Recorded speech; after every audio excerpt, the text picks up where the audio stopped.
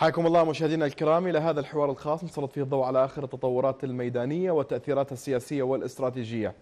في حلب العالم كله يتحدث ويجمع بأن هنالك خسائر للتنظيمات الإرهابية، لكن الولايات المتحدة الأمريكية ومن معها يقفان في الخط الذي يحاولان من خلاله دعم الإرهابيين بكل الوسائل سواء كانت الوسائل العسكرية أو حتى السياسية، رد الإرهابيون في حماة وتصدى لهم الجيش.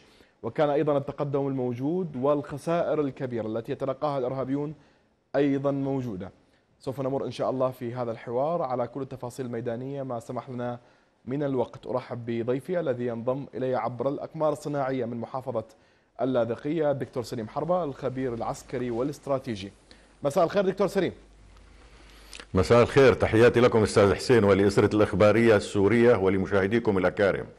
تحية لكم. قبل أن نبدأ بحلب وحماة في ريف اللاذقية الشمالي محاولات كانت موجودة منذ الأمس للعصابات الإرهابية. وحسب ما ترد من أخبار فإن جثث قتلى هؤلاء الإرهابيين لا زالت موجودة في المناطق التي حاولوا الهجوم منها. ماذا تحدثون؟ صحيح أستاذ حسين. يعني دعني أقول أن المشهد الميداني على امتداد الجغرافيا السورية وتحديدا في المنطقة الشمالية يعني في ريف حماة في ريف اللاذقية في ريف حلب أيضا وفي أحياء حلب الشرقية يعطي مؤشرات ومبشرات أن المبادرة بيد الجيش العربي السوري ويحقق إنجازات مهمة. يعني ليس فقط تصرف في الميدان العسكري إنما في الميدان الوطني والميدان السياسي على المستوى الإقليمي والدولي. لذلك نلاحظ هذه الهستيريا من المجاميع الإرهابية التي حاولت تعويض خيباتها نكباتها نكساتها في حلب في ريف حما.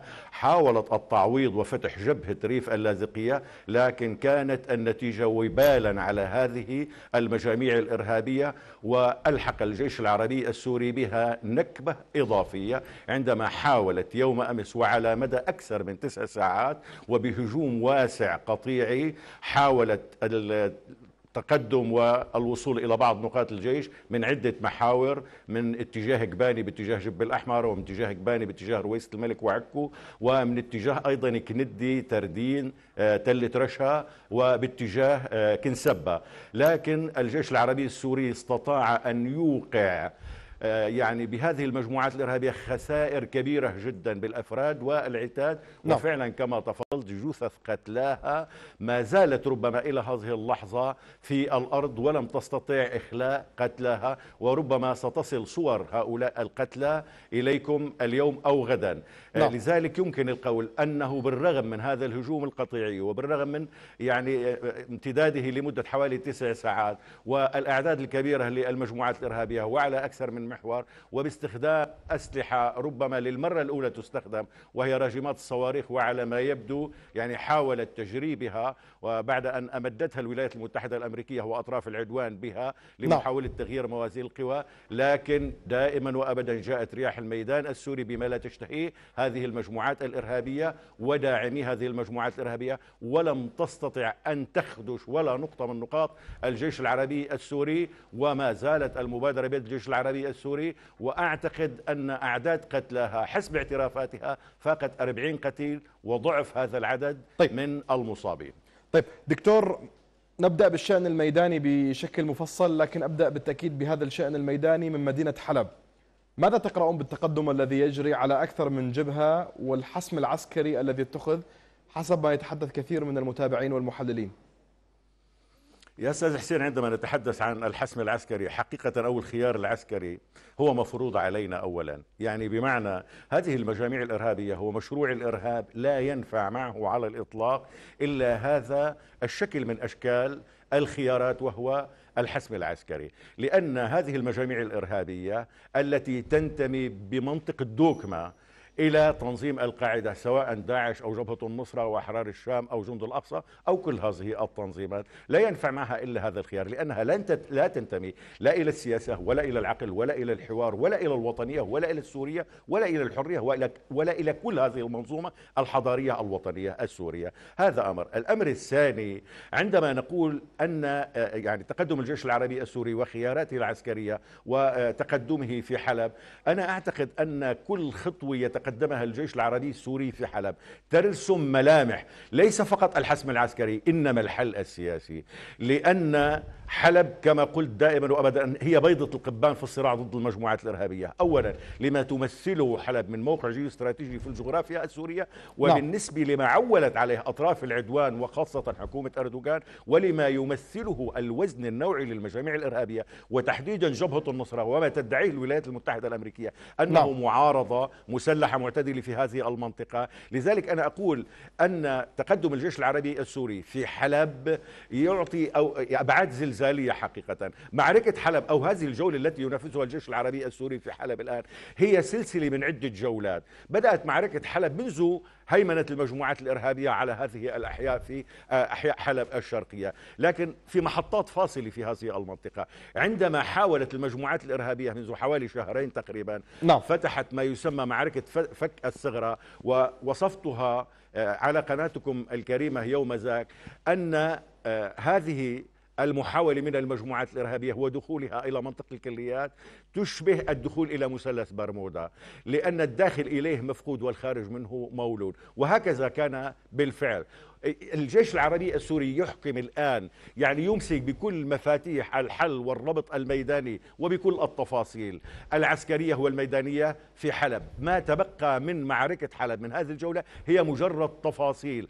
أي بمعنى حسمت معركة حلب بإطارها الميداني العسكري. بعد أن أحكم الجيش العربي السوري السيطرة على كامل ما تبقى من أحياء حلب الشرقية نعم. بمعنى على الطوق يعني من جهة الكاستيلو إلى جهة الحويقة إلى دوار الجندول ووصولا أيضا إلى بستان الباشا وباتجاه الجنوب تله الشيخ سعيد وبدأ يتقدم بوتائر يعني هادئة لكنها هادفة جدا ويسيطر ناريا على ما تبقى من وأصبحت الخيارات خيارات التقدم نعم. واسعة جدا إضافة إلى ذلك مع هذا الأمر ومع هذا الخيار العسكري. حقيقة الأمر ما يسجل للحكومة السورية وللجيش العربي السوري هو فتح المعابر للمدنيين لأنه يدرك تماما انها هؤلاء المدنيين الموجودين في بعض أحياء حلب الشرقية والتي سيدخلها الجيش عاجلا وربما ليس آجلا. نعم. سيدخلها الجيش العربي السوري وسيحرر. يعني الهدف الأساسي من دخول الجيش العربي السوري بنفس القدر الذي سيقضي على المجموعات الإرهابية هو فك الحصار وتحرير أهلنا الذين أخذتهم المجموعات الإرهابية دروع بشرية. فتح المعابر وأطلقت وزارة الخارجية السورية اليوم أيضا إعلانا بأنها آه، يعني مسؤولة عن استيعاب كل هؤلاء المدنيين الذين سيخرجون وتأمين الحياة الحرة الكريمة لهم. إضافة إلى ذلك حقيقة نعم. ما يرعب المجموعات الإرهابية هو داعمي ومتبني الإرهاب في بعض أحياء حلب الشرقية وصولا إلى الولايات المتحدة الأمريكية التي ما زالت تجتر وهم. هو ربما محاولة الاستثمار بهذه المجامع الإرهابية وعلى رأسها جبهة النصرة. ما يرعب كل هذه الأطراف هو حالة المزاج الشعبي في أحياء حلب فيما تبقى من أحياء حلب الشرقية نعم. التي خرجت فيها الكثير من المظاهرات أيضا. ترفع أعلام الوطن وتتحدى المجموعات الإرهابية وترفع الأعلام السورية آه، الوطنية على المباني الحكومية نعم. في بعيدين في التل في الهلك في الشعار في المواصلات في كثير من هذه المناطق لذلك يعني بالمحصلة العامة ما تبقى من أحياء حلب الشرقية المسألة مسألة وقت نعم. أي بمعنى النتيجة النهائية بالبعد العسكري الميداني التكتيكي الاستراتيجي منتهية. أصبحت نتيجة المعركة بيد الجيش العربي السوري وما تبقى هو مجرد تفاصيل وأعتقد كل محاولات إثارة الضجيج والغبار على المستوى السياسي في الولايات المتحدة الأمريكية في مجلس الأمن في بعض دول الاتحاد الأوروبي لن يغير وقائع الميدان على الإطلاق نعم. ولن يغير ميزان الميدان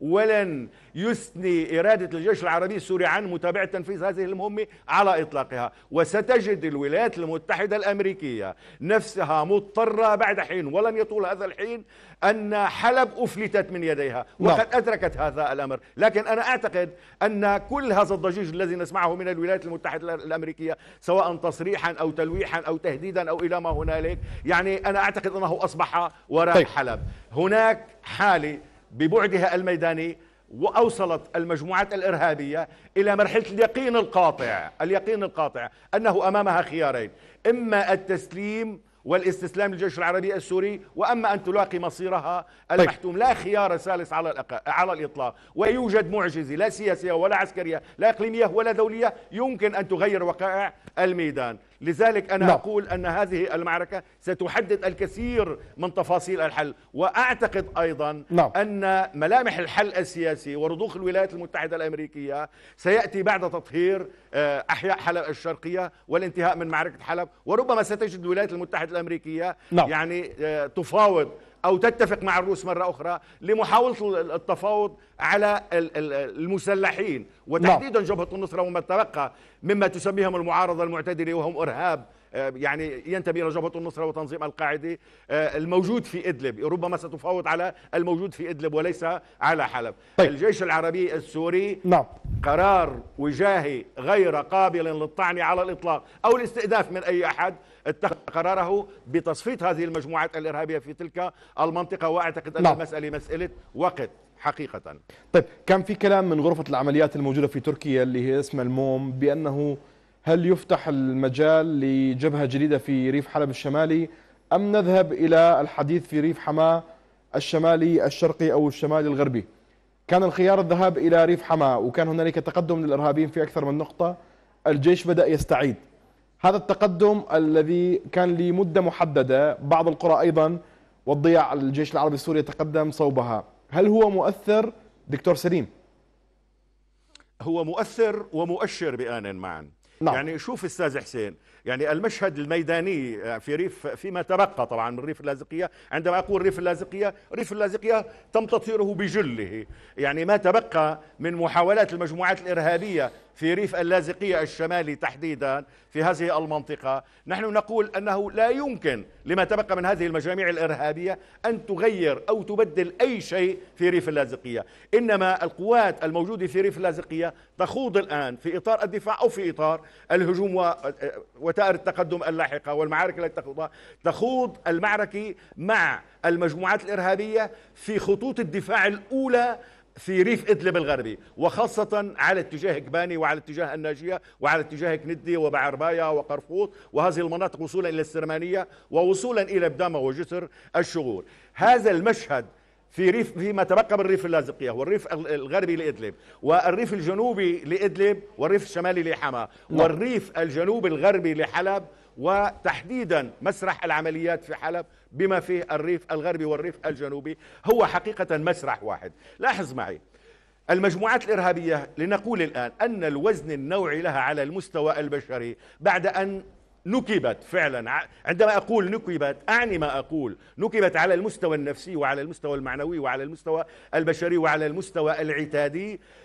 كل هذا التجميع الموجود أساسا ومعقله الاساسي في إدلب، يعني المجموعات الإرهابية التي كانت في إدلب هي التي كانت تخوض المعركة في حلب، وهي التي تخوض المعركة في ريف حماه الشمالي، وهي التي تحاول خوض المعركة في ريف اللاذقية الشمالي أيضا، لذلك بعد أن تلقت هذه الضربة القاصمه يعني باتت الآن يعني شبه مصروعة حقيقه، تحاول فتح جبهة حماه، تحاول فتح جبهة حلب، تحاول نعم. فتح جبهة اللاذقية، لكن دعني أقول هنا وأؤكد لك يعني لأرسم المشهد جيدا. أولا هذه المجموعات الإرهابية استهلكت إذا لم أقل كل جل قدراتها على المستوى البشري وعلى المستوى العتادي. في حلب أو في ريف حما أو في ريف اللاذقية ما بقي لديها ليس قليلا لكن ليس مؤثرا ولا يمكن أن يغير موازين الميدان لا في اللاذقية ولا في حما ولا في حلب. وأدل على ذلك أن المجموعات الإرهابية حشدت كل طاقاتها تحت راية ما يسمى جبهة النصرة بمسماها الجديد نعم. وعمادها الأساسي ما يسمى فتح الشام وجند الأقصى وأحرار الشام. وذهبت بت... إضافة إلى بعض التنظيمات الأخرى ذهبت باتجاه حما وسيطرت على بعض القرى وعلى بعض البلدات لكن إلى حين لكن الجيش العربي السوري استطاع أن يكبد هذه المجموعات الإرهابية ويستنزفها ويوقع مئات القتلى في صفوفها ويصيبها بنكبة فعلا. نعم. أدت هذه النكبة وهذه الخسارات المتلاحقة في ريف حماة الشمالي ناهيك عن تطهير الكثير من المناطق من القاهرة إلى كراح إلى معان إلى الكثير من هذه المناطق التي أعاد الجيش العربي السوري وطهرها الآن. نعم. ويطارد المجموعات الإرهابية سواء باتجاه معرس أو باتجاه طيبة الإمام أو باتجاه سوران. آه، هذا الأمر أدى إلى ضرب على العمود الفقري للمجموعات. الإرهابية نعم. لذلك يمكن القول أنها تلقت ضرب قاسمي في حلب وتلقت ضرب قاسمي في حماة وتتلقى ضربات قاسمي في ريف اللاذقية منذ عام إلى الآن الآن تنكفئ المجموعات الإرهابية هنا نعم. هنا يجب يجب أن أقول يعني ما هو آفاق هذه المجموعات الإرهابية في هذه المنطقة وما هي مخاطرها؟ أنا أقول ما تبقى من المجموعات الإرهابية إضافة إلى التناحر البيني بين ما يسمى أحرار الشام وبين ما يسمى في إدلب. الأقصى وبين ما يسمى جبهة النصرة وهذه التنظيمات الإرهابية الأخرى وعلى رأسها أيضا آه، ما يسمى حزب الإسلام التركستاني الذي آه، كان عدد كبير من القتلى في ريف اللاذقية في معركة يوم أمس من حزب الإسلام التركستاني أي من الإيغور الصينيين المدعومين نعم. من تركيا إضافة إلى هذا الاقتتال وحالة الاقتتال واستنزاف بين بين المجموعات الإرهابية في هذه المنطقة أنا أعتقد أن كل ما يحصل في حلب وكل ما يحصل في حماة وكل ما يحصل في ريف اللاذقية هو يضيق الخناق. وأنا أعتبره ليس معركة ريف حماة الشمالي نعم. وليس معركة ريف آه، حلب الجنوب الغربي وليست معركة ريف آه، آه، اللاذقية الشمالي. هي معركة إدلب. معركة إدلب ما تبقى من المجموعات الإرهابية التي تنحصر في هذا الإطار. نعم. أنا أعتقد أنها غير قادرة وأصبحت خياراتها معدودة جدا. يعني بمعنى من هنا من هنا والله بدي احكي كلمتين فقط لمن يستمع إلي. نعم. من هذه المجاميع الإرهابية فعلا. يعني من خمس من ست سنوات إلى الآن. وهي تراهن على الأجنبي وهي تراهن على الدعم وهي تراهن على وهم وتشتر وهم. اسمه إمارة النصرة إمارة إدلب إمارة درعا إمارة إلى ما هناك من إمارات مزعومه ولم تستطع تحقيق شيء على الإطلاق. وكانت أقوى مما هي عليه الآن بمئات المرات. وكان الدعم أكثر مما هو الآن بمئات المرات. وكانت يعني القوى العظمى نعم. الولايات المتحدة الأمريكية وغيرها من دول أوروبا تتبنى وما زالت تتبنى هذه المجاميع الإرهابية وفكرها. لا ولم تستطع أن تحقق أي شيء في الميدان. الآن هي في أسوأ حالاتها في أضعف حالاتها. لذلك آن لها لمن يحمل أو لمن تبقى فيه شيء من السورية من الوطنية أن يعود إلى رشده ويقتدي ويقتفي ما حصل داريا في آه، آه، آه، حمص القديمة في الكثير من المناطق في الوعر في الكثير من المناطق نعم. هؤلاء الذين دعموا هذه المجموعات الإرهابية من بني سعود إلى نظام أردوغان إلى الولايات المتحدة الأمريكية إلى الكيان الإسرائيلي دفعوهم إلى المحرقة يعني كل واحد منهم يسأل ماذا أتى لمحيسني يعني شو جاب له المحيصني نعم. لهذا الإرهاب الموجود في إدلب أو في حماه أو في أي منطقة؟ شو جاب له؟ يعني بشو واعده شو جاب الداعش إلى هذه المنطقة؟ إلا القتل والتدمير والخراب. لذلك آن لهم بعد ست سنوات من تجريب كل أنواع القتل نعم. والشذوذ والنشاز على المستوى الوطني آن لهم فعلا أن يهتدوا في يعني وأن تأتي متاخرا خيرا من أن لا طيب. تأتي لا لا مصير على الإطلاق ولا مستقبل لما تبقى من هذه المجامع الإرهابية نعم. لا في إدلب ولا في حلب ولا في حماة ولا في آه، آه، غوط دمشق ولا في المنطقة الجنوبية على الإطلاق هذا الإرهاب إلى تصدع وانهيار على المستوى البنيوي على المستوى التنظيمي على المستوى الميداني. الإرهاب بالأساس لا يقوى بذاته لأنه أساسا ضعيف على المستوى نعم. الإيديولوجي بذاته. يقوى بقواه المضافة بدعم هذا الإرهاب من الخارج، أنا أعتقد أن الكثير الآن حتى من الأطراف التي تبنت الإرهاب ورعت الإرهاب ودعمت الإرهاب وحاولت الاستثمار بالإرهاب، الآن باتت يعني ربما وصلت إلى مرحلة الإفلات، أن هذا الإرهاب الذي اعتمدت عليه ووعدها بالمن والسلوى بأنه سيفتت الدولة السورية، سيفتت محور المقاومة، سيغير الهوية والوقع والموقع والدور والانتماء السوري. آه، يعني بات عاجزا عن تحقيق أي شيء. لذلك الآن أعتقد يعني بمؤشرات ما أرى بالبعد الميداني سواء في حلب في ريف حماة في ريف اللاذقية في ريف دمشق أيضا وخاصة بالغوطة الشرقية واتجاه الريحان وأيضا بما أراه أيضا من. الحالة الشعبية المطمئنة جدا على مستوى الهامة على مستوى قدسية بطرق المجموعات الإرهابية على مستوى أحياء حلب الشرقية التي تطلب وتنتظر قدوم الجيش العربي السوري على مستوى المنطقة الجنوبية بإحباط ما يسمى أيضا كل تلك الأوهام والملاحم التي كانت مما يسمى عاصفة الجنوب وعاصفة القادسية وشدوا الوثاق وإلى ما هنالك انهارت كلها الآن المشهد الميداني بالبعد العسكري بيد الجيش العربي السوري جملة نعم. وتفصيلا طيب. والمزاج الشعبي وأيضا المبادرة بيد الشعب العربي السوري الذي ويتحدى ويتصدى نعم. لهذه المجموعات الإرهابية لذلك الآن ربما هي لحظة لحظة وقوف مع الذات لما تبقى من هذه المجموعات الإرهابية إذا كان لديها شيء من هذا الإحساس لا مستقبل لها غير قادرة طيب. بكل طيب. المؤشرات الموضوعية نعم. العسكرية السياسية الشعبية غير قادرة على أن تبقى أو تقوى بعد الآن على الإطلاق طيب دكتور حضرتك تقول بأن هذه المجموعات ليس لها أي قدرة الآن سوى أن تناور هنا أو هناك والاحتلال الإسرائيلي جرب أن يساعد هؤلاء الإرهابيين الأمريكي الآن يظهر بشكل واضح وصريح بعد الهجوم في مدينة دير الزور. برأيك التهديدات الأمريكية في أي مدى يمكن أن نأخذها من جدية؟ هل هي قادرة بالفعل على قصف مواقع الجيش السوري بعد القصف الذي تم في دير الزور وبعد كل التصريحات والمواقف التي اتخذت من روسيا سواء كان عن طريق الأسلحة أو حتى عن طريق السفن التي تصل بين فترة وأخرى إلى طرطوس؟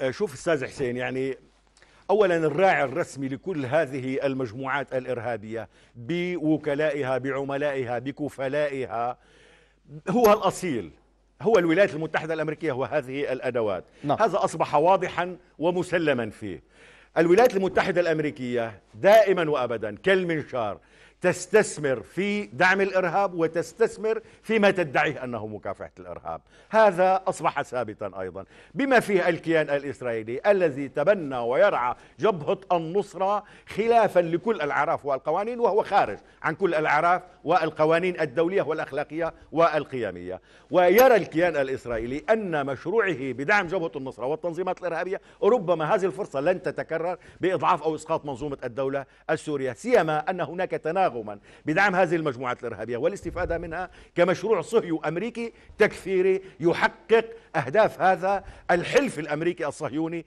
التكفيري في وجه مشروع المقاومة التي تعتبر سوريا نقطة ارتكازه حقيقة. من هنا أقول أن الولايات المتحدة الأمريكية على مدى خمس سنوات حاولت دعم هذه المجموعات الإرهابية من دواعشها إلى نصرته كل هذه التنظيمات تحت مسميات إرهاب معتدل وإرهاب متطرف وإلى ما هنالك. لكن حقيقة الأمر كان موقفها ضعيف.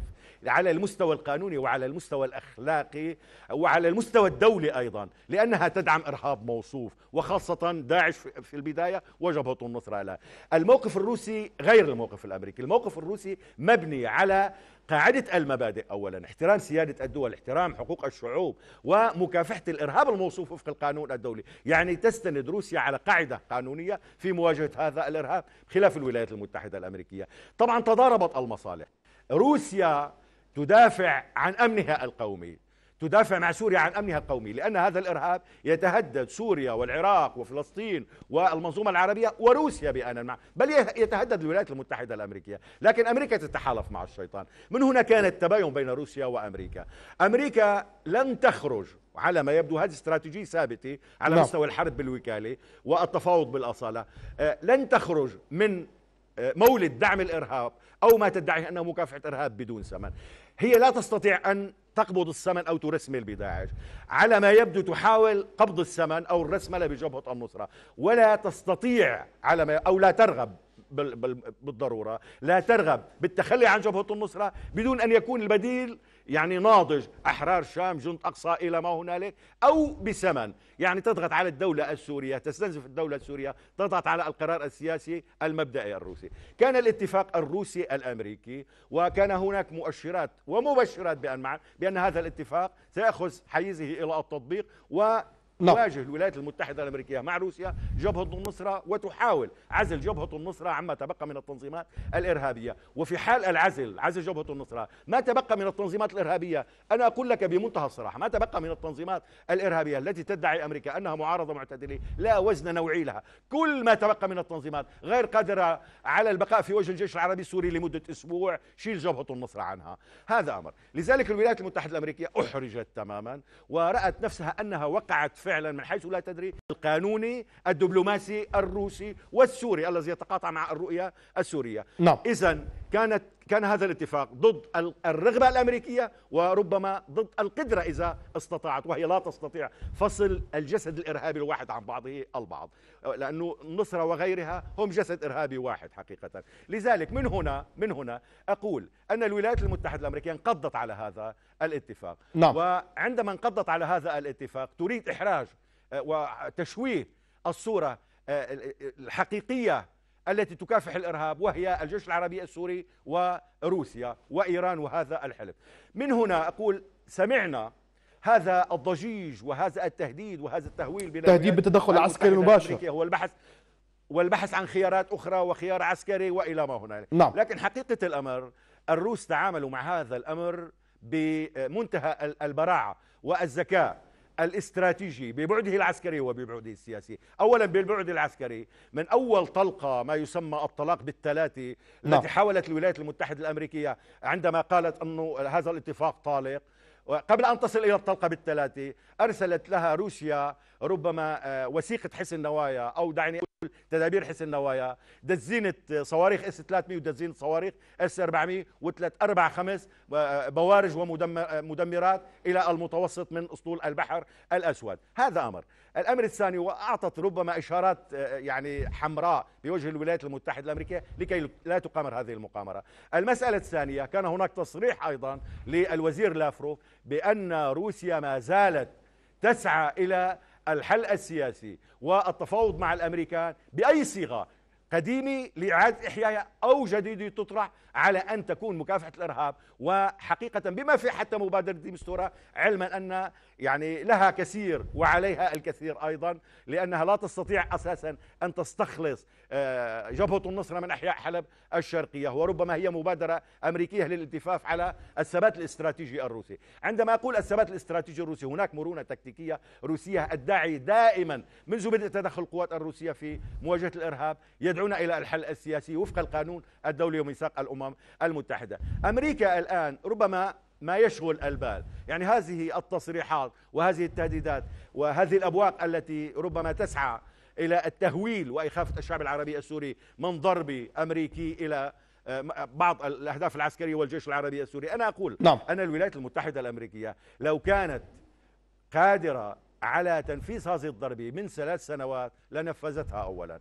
ثانيا طبعا بمنطق القوة قادرة على تنفيذ هذه الضربة. لكن تبعاتها نعم هي دولة عظمى وقادرة لكن دائما وأبدا عندما نحلل عندما لا. نعم. نحلل يجب أن نحلل بمنطق العقلاء لا بمنطق المجانين أي بمعنى الولايات المتحدة الأمريكية إذا ركبها الجنون ونفذت هذا الأمر لا أعتقد أنها دولة عظمى بهذا الحجم وهذه المعطيات ترتكب هذه هذا الشكل من أشكال الجنون لي أنا أحلل بالحسابات بمنطق الحسابات أقول أن كل ما سمعناه من تصريحات وتلويحات بالتهديد العسكري لا يعدو أكثر من أنه قنبلة صوتية أو دخانية لإثارة هذا الضباب والضجيج لأن الولايات المتحدة الأمريكية بارعة في استخدام استراتيجية حافة الهاوية وبارعة أيضا أكثر في التهديد باستخدام القوة والولايات المتحدة الأمريكية أستاذ حسين نعم. الولايات المتحدة الأمريكية تستطيع أن تحقق بالتهديد باستخدام القوة أكثر من استخدام القوة.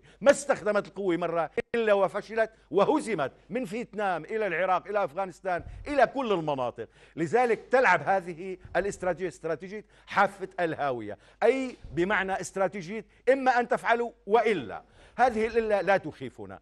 منطق الحال نعم. ومنطق التحليل يقول أن الولايات المتحدة الأمريكية لن تنفذ هذا العدوان. علما أننا أننا أعتقد بمنطق الحسابات لأن يعني أمن الوطن ومنظومة أمن الوطن عموما وخاصة لا أقول منظومة أمن الوطن في سوريا فقط منظومة أمن المقاومة حلف المقاومة الحلف السوري الروسي الصيني كل هذه المنظومة لا نعم. تقبل الغفلة أيضا ولا تقبل التعامل بحسن النوايا أساسا لذلك أنا أعتقد أنها تتحسب لكل هذه الاحتمالات من احتمال الصد إلى احتمال الرد على أي جنون أمريكي لكن بمنطق العقلاء أقول أن الولايات المتحدة الأمريكية غير جادة ربما أو لن تنفذ هذا التهديد لجملة أسباب السبب الأول هناك لا. نعم. تباين في الإدارة الأمريكية بين من يريد فعلا الوصول إلى يعني حل سياسي وبين من يريد التصعيد ومتابعة الاستثمار في الإرهاب بما فيه استخدام القوة ضد الجيش السوري وخلط الأوراق في هذه المنطقة ولا أعتقد أن إدارة الرئيس أوباما التي جاءت إلى الرئاسة الأمريكية نعم. يعني تحت شعار إنهاء حروب أمريكا في الخارج وسحب القوات الأمريكية أنها تورث الإدارة الجديدة حرب على الأبواب، هذا أمر، لأن أي عدوان على أي هدف سوري هو عدوان على سوريا وعلى روسيا وعلى حلف المقاومة وصولا إلى الصين. على كل هذا الحلف. وأعتقد أن الرد سيكون في إطار كل هذا الحلف. والولايات المتحدة الأمريكية بمنطق حساباتها تدرك هذا الأمر. اذا هذا أمر. نعم. الأمر الثاني الأمر الثاني هو الموقف الأوروبي. الموقف الأوروبي أنا أعتقد أنه يتناغم في إطار التهديدات لكنه عندما تجد يجد الجد ويتم استخدام القوة من قبل الولايات المتحدة الأمريكية لا أعتقد أن الموقف الأوروبي سيكون موحدا. هناك تباين بالموقف الأوروبي.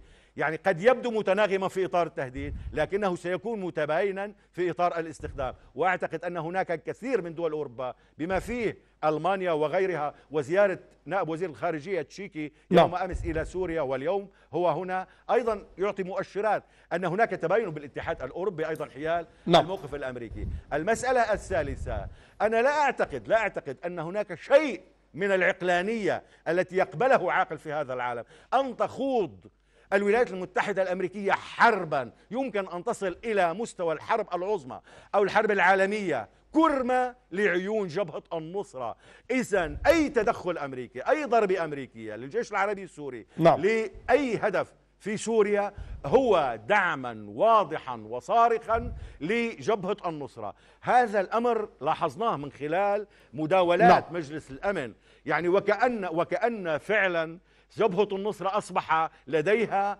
ناطقين رسميين في مجلس الأمن كانت باقة عن ديمستورا في في مجلس الأمن نعم. نعم المسألة الثالثة أعتقد أن الروس وهذا الحلف وليس الروس فقط الروس وسوريا وحلف المقاومة وصولا إلى على الآخر بغض النظر عن موقف الولايات المتحدة الأمريكية نعم. بمسألتين المسألة الأولى هزيمة الإرهاب كل الإرهاب وعلى رأسه داعش وجبهة النصرة وإطلاق العملية السياسية السورية السورية طيب. أعتقد أن الولايات المتحدة الأمريكية نعم. وهي بارعة بالبراغماتية والتقاط اللحظة الاستراتيجية أعتقد أنها تحاول الآن مداولة أو مباشرة مع الروس لالتقاط اللحظة قبل أن تنتهي معركة حلب ويسيطر الجيش العربي السوري على الأحياء نعم. الشرقية لكن أعتقد أنها لن تستطيع التقاط اللحظة لأن سرعة ووتائر تقدم العملية ربما ستسبق الولايات المتحدة الأمريكية نعم. وإذا استطاعت أن تلتقط اللحظة الاستراتيجية للتفاوض مع الروس أعتقد ليس على حلب ربما على ما تبقى من المجموعات الإرهابية في إدلب لذلك يا نعم. أستاذ حسين أنا أعتقد أن منطق الحسابات هو الذي يتغلب على منطق الأماني والغرائز أيضا نعم للولايات المتحدة الأمريكية وبعض الأدوات وبعض المجموعات الإرهابية على طيب. الإطلاق أعتقد أن كل هذا الضجيج عودا على بدء كل هذا الضجيج محاولة لإعطاء شيء من أكثير القوة لهذه المجموعات الإرهابية إضافة إلى متابعة إمدادها وتزويدها نعم. لمتابعة استنزاف الجيش العربي السوري ومحاولة إطالة أمد الأزمة لكن لكن على الإطلاق غير ذلك أنا وفوق ذلك لا أعتقد أن الأمور ستتطور وما شاهدناه من محاولات الهستيرية للمجموعات نعم. الإرهابية في ريف اللاذقية أو في ريف حما أو فيما تبقى من ريف إدلب أو حتى في المنطقة الجنوبية. هو ترجمي لحالة التهديد للولايات المتحدة الأمريكية لا أكثر من ذلك. نعم. وأعتقد أن الأمر سينتهي عند ذلك. لن تخوض الولايات المتحدة الأمريكية ولا يقبلها المجتمع الأمريكي. لن تخوض الولايات المتحدة الأمريكية. حرب يمكن أن تتحول إلى حرب عالمية ثالثة كرمة لجبهة النصرة أو تنظيم داعش أو أحرار الشام أو جند الأقصى في هذه المنطقة طيب. وأعتقد أنها لا. نعم. تدرك تماما أن روسيا وسوريا على الإطلاق لن لا. نعم. تقبل العودة وقرارها كما قلت وجاهي غير قابل للطعن لماذا؟ لأنها تدافع عن منظومة وجودها وأمنها واستقرارها وهويتها وهذا لا, لا تراجع عنه على الإطلاق لذلك طيب. هنا الفرق بين المصالح الأمريكية للاستثمار الإرهاب وبين لا. المبدئية الروسية والسورية ومبدئية هذا الحلف في مواجهة الإرهاب, الإرهاب الحقيقي والدفاع عن هذه المنظومة الأمنية وعن منظومة الأمن والسلم الدولي وليس فقط عن منظومة الأمن السوري أو العراقي أو هذه المنطقة طيب أنا لدي فقط عشر دقائق دكتور سليم اللقاء الذي جرى بين الرئيسين بوتين وأردوغان كان هنالك البعض يتأمل فيه بأن تغلق تركيا كامل حدودها أمام الدعم الذي يقدم للإرهابيين سواء كان الدعم بالسلاح أو حتى الدعم بالمرتزقة الذين لا زال ياتون من عدد من الدول. على الجبهة الأخرى في الحدود العراقية السورية السيد حسن نصر الله يقول اليوم بأنه هنالك محاولات أمريكية لتجميع جبهة تجميع تنظيم داعش الإرهابي من الموصل باتجاه الرقة ودير الزور. هذين الحدودين مع العراق ومع تركيا هل من أمل لإغلاقهما؟ يعني ربما في لقاء آه، سابق آه، تطرقت إلى هذا الموضوع وقلت أن وخاصة بعد آه، الضرب المتعمد والعدوان السافر من قبل الولايات المتحدة الأمريكية على قواتنا في جبل السرد في دير الزور وقلت في سياقها أن هذه الضرب هي ليس فقط لمحاولة إحراج الجيش العربي السوري في تلك المنطقة لمحاولة إخراج الجيش العربي السوري من دير الزور وتمكين داعش من السيطرة على هذه المنطقة لإقامة المشروع الأمريكي الصهيوني السعودي برعاية تركيا أيضا لإقامة ما يسمى الإمارة الداعشية وقطع أواصر التواصل حتى بما فيه التنسيق العسكري والميداني بين الجيش العربي السوري والجيش العراقي وخاصة بعد بدء معركة الموصل وظهور المؤشرات بهزيمة داعش من تلك المنطقة. وهذا يؤكد ويفسر أيضا محاولة الولايات المتحدة الأمريكية ضرب كل ضرب كل الجسور على نهر الفرات أيضا لتقطيع الأوصال من جهر من جسر السياسية إلى جسر العشارني إلى جسر الطريف إلى جسر الميادين. أكثر من سبع جسور قطعت الأوصال في تلك المنطقة.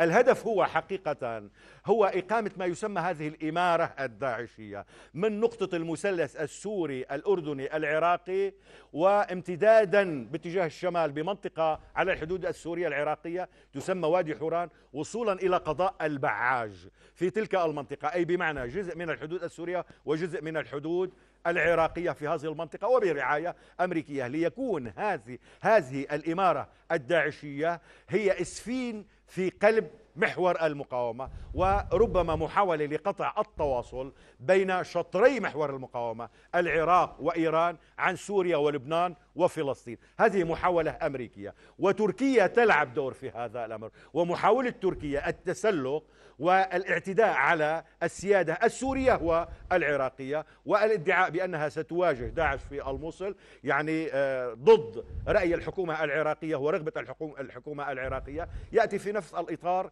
الأمريكي أيضا لخلط الأوراق في تلك المنطقة ودخول القوات التركية أيضا لدعم إرهاب آه، يعني هو داعش أو جبهة نصرة مؤجلة.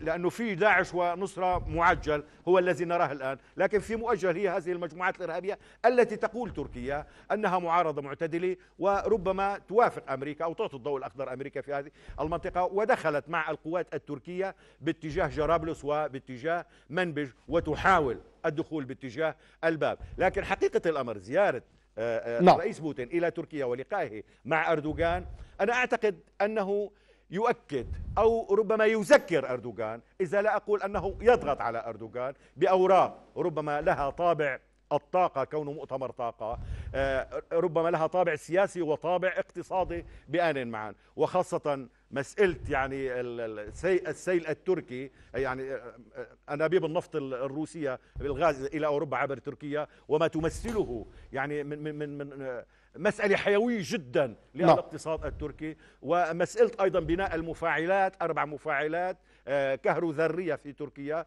آه، أكويو آه، بخبرات روسية هذا الأمر أعتقد أنه أيضا كما قلت يعني الرئيس بوتين يجب أن يؤكد أو قد أكد نعم. لأردوغان على الالتزام بما وعد به أول التزام قدمه أردوغان بسان بطرسبورغ عندما التقى الرئيس بوتين أنه سيغلق الحدود وأعتقد أنه هناك تسريبات أنه أعطاه ستة أشهر وحتى الآن لم نجد أي تدبير من تدابير أردوغان لإغلاق الحدود وما زالت وما زال نظام أردوغان لا يعتقد على السيادة السورية ويدخل قوات تركيا ويدعم مجموعات إرهابية انسحبت داعش بصفقة بين تركيا وهذه وحكومة أردوغان من جرابلس ومنبج وسلمت. وسلمتها للقوات التركية وأهل المجموعات الإرهابية. إنما يحاول اللعب أيضا مرة أخرى باتجاه المجموعات الإرهابية في إدلب وخاصة هذا الصراع البيني بين المجموعات الإرهابية في إدلب يحاول نظام أردوغان تعويم ما يسمى أحرار الشام التي يتمثل فكرها نعم. وأيديولوجيتها وجوهرها ومشروعها بأنها إخوان مسلمين مشروع إخوان مسلمين متجدد وخاصة بعد أن اضطر أردوغان أمام الضغط الروسي ربما وأمام الضغط القانوني وأمام الحالة الشعبية التركية بعد أن تخلى عن داعش آه، ولو ظاهرا يعني أراد أن يتخلى عن جبهة النصرة عندما وصف جبهة النصرة وحزب العمال الكردستاني وداعش بأنها منظمات إرهابية وأيضا نعم. عندما قالت جبهة النصرة أنه لا يمكن التحالف مع القوات التركية الداخلي لكن بيضت الصفحة مباشرة أحرار الشام عندما يعني باركت دخول القوات التركية وقالت أنها تقاتل معها ما يحصل في إدلب الآن هو حقيقة يعني بذوره الاستخباراتية التركية محاولة الانقضاض على جبهة النصرة وجند الأقصى. جند الأقصى يعني جند الأقصى هي أفرع داعش هي فرع من أفرع داعش. نعم. وهي سعودية الدعم والهوى والمنى والإيديولوجيا وكل شيء. وهي رسالة للسعودية أيضا. يعني الصراع بين أحرار الشام وجند الأقصى في تلك المنطقة لكن محاولة تركية مرة أخرى لإعادة الهيمنة على هذه المجموعات الإرهابية في تلك المنطقة آه، في في آه، ريف إدلب لمحاولة الرسملة فيها مرة أخرى أعتقد أن أردوغان ونظام أردوغان وقد قلتها مرارا نعم. وما زلت مصر عليها على المستوى الشخصي أن أردوغان كاذب. يعني من يكذب مرة يكذب ألف مرة. أردوغان كلام كلام ليله يمحوه النهار.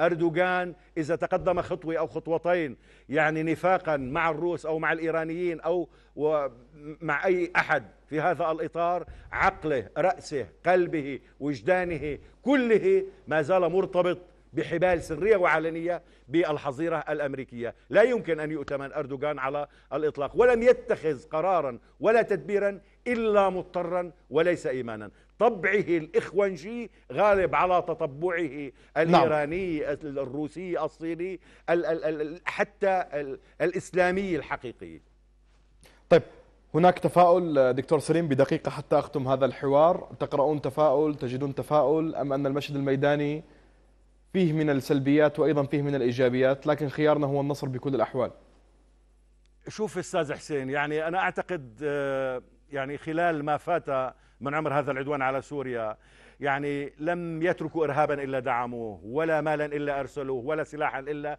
ولا ولا, ولا بنية إلا دمروها. أعتقد ما كان يخيفنا أصبح لا يقلقنا. هذا أمر.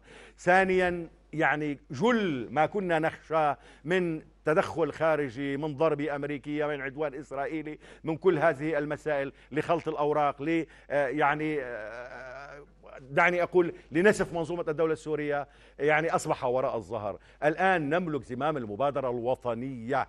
المركبة على المستوى الميداني. نعم. لا يوجد ما تبقى من المجموعات الإرهابية بما فيها ما تبقى من محاولات تهويل الولايات المتحدة الأمريكية بإعادة تسليحها ودعمها. لا يمكن أن يغير موازين قوى لا في حلب ولا في حما ولا في اللاذقية ولا في الخلمون ولا في ريف الدرعا ولا في أي منطقة. المبادرة بيد الجيش العربي السوري وستسمع وسترى أنه في الأسابيع القليلة القادمة سيرسم مشهد ربما نتمناه وأكثر مما نتوقعه حتى المتفائلين. هذا على المستوى الميداني. على المستوى الشعبي أعتقد أن الشعب العربي السوري بات الآن يملك زمام المبادرة كالجيش العربي السوري في مواجهة هذه المجامع الإرهابية وحالة المصالحات والتسويات التي تتم غيض من فيض وترجمة هذا الإحساس الشعبي والحالة الرسمية وحالة التحالفات بالمناسبة حالة التحالفات والثبات الاستراتيجي في هذا الحلف يعني دعني أجري بشكل سريع مقارنة بسيطة بين لا. نعم. هذا الحلف السوري الروسي المقاومي إيران الصين كل هذا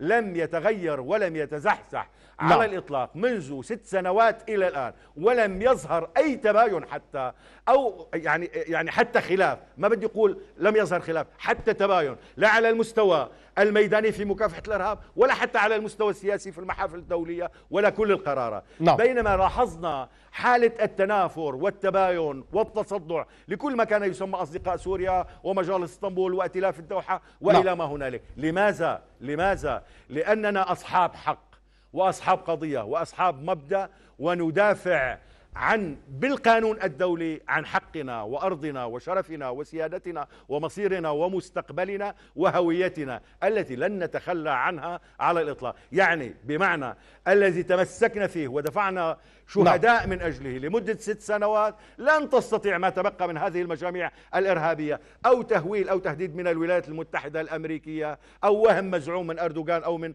السعودية أن ينالوا ما عجزوا عنه باستخدام هذه الجيوش من المجموعات الإرهابية وبالمناسبة نعم. يعني ربما سأضيف أحد الأسباب التي تدفعني لليقين أن الولايات المتحدة الأمريكية لن نعم. تنفذ ضربات عسكرية كاصيل، لماذا؟ لأن ما زال لديها جيش مشاة أمريكي هو جبهة النصرة وداعش موجود طيب. وكل هذه التنظيمات الأخرى موجودة نعم. تقوم مقام الجيش الأمريكي، لذلك أنا أقول باختصار وبمحصلة نعم. أقول أننا الآن أقوى من أي يوم مضى في البعد الميداني، في البعد السياسي، في البعد الشعبي وفي البعد التحالفي أيضا لهذا الحلف. أنا أرى كل المؤشرات أنها معنا ولصالحنا والتي تؤكد ثباتنا وصمودنا وانتصارنا ولن يطول الزمن. حتى ترفع أقواس النصر وتدق طبول النصر في أبواب حلب السبعة وفي أبواب دمشق السبعة نعم. وعلى ثغور سوريا في الجنوب في وجه الكيان الإسرائيلي ومجموعات الإرهابية وأيضا في الشرق مع نعم. إخوتنا في العراق الجيش العراقي والحشد الشعبي إن شاء الله. وأيضا في الشمال في حلب لذلك أنا أدعو مرة أخرى لعدم آه، لعدم يعني آه، آه، الاهتمام أو القلق من كل هذه التهديدات نعم. والتصريحات الأمريكية وستجد نفسها أمريكا قريبا وتذكر يا أستاذ حسين نعم. أنها تستجدي الروس تستجدي الروس لإعادة الاتفاق نعم. والله لكن ليس على حلب ولا على إرهابي حلب ربما على مكان آخر أعود وأقول نعم. نحن أقي يوم مضى كل مفاتيح وأبواب النصر أصبحت بيدنا وتحت أقدامنا ما كان يخيفنا لا يقلقنا وما كان يقلقنا أصبح تحت أقدامنا نعم. النصر قائم إن شاء الله. وقادم وقريب بإذن الله. شكرا جزيلا لكم الدكتور سليم حرب الخبير العسكري والاستراتيجي. كنت معنا مباشرة عبر الأقمار الصناعية من مدينة اللاذقية شكرا جزيلا لكم. حوارنا ينتهي مشاهدينا الكرام عند هذه اللحظات. دقائق تتابعون الساعة الإخبارية مع الزميلة ليمونة صالح. حياكم الله.